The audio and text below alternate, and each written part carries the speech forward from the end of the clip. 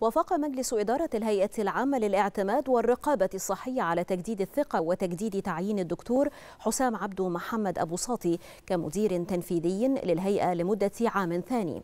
وأكد رئيس الهيئة الدكتور أشرف إسماعيل خلال اجتماع مجلس إدارة الهيئة بمقرها الجديد بالعاصمة الإدارية الجديدة.